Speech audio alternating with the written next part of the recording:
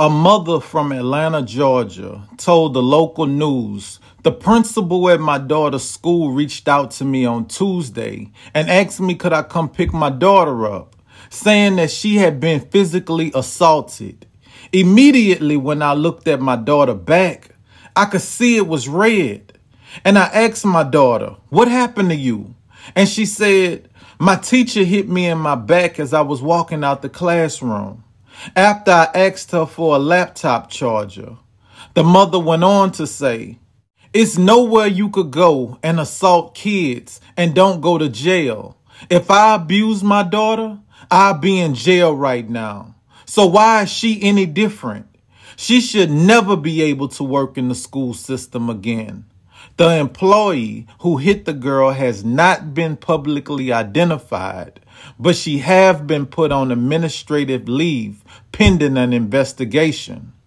Listen, y'all gonna have to stop putting y'all hands on these people children. Every parent is not gonna go for that.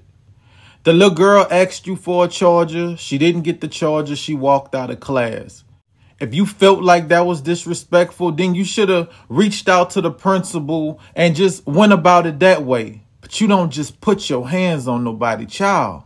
You can't just slap them in their back because you mad at them. These children have mothers and fathers.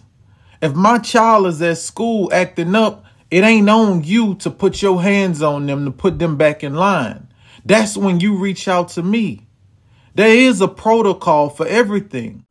And like she said, there's nowhere you could go where you could abuse children and nothing happen. If I put my hands on my own child, I could go to jail. And here it is, you could put your hands on them and don't nothing happen? And why y'all can't identify her? Y'all identify people for doing everything else? Who is this chick? Who she know? See, this is one of the biggest issues that I have with the quote unquote system. The system want to tell the parent how to deal with their child. But when that same child get out of line with the quote unquote system, they deal with them however they see fit. You gonna tell me that I can't even raise my voice at my child. But yet, if my child out there in the streets acting like a little jerk, the police could raise their voice at him and curse him out. You gonna tell me that I can't put my hands on my child. Yet, when my child get in trouble and go to somebody jailhouse, the security guards beating their brains out. It's like the system is setting these children up for failure. All of this out of hand stuff that we seeing these children do at school, all of that is done by design. Because if you stop the parents from disciplining the children, of course the children going to be disruptive once they leave out the house. Everybody need guidance. Everybody needs structure. And again, to these teachers, there are some parents that's not going to go for that.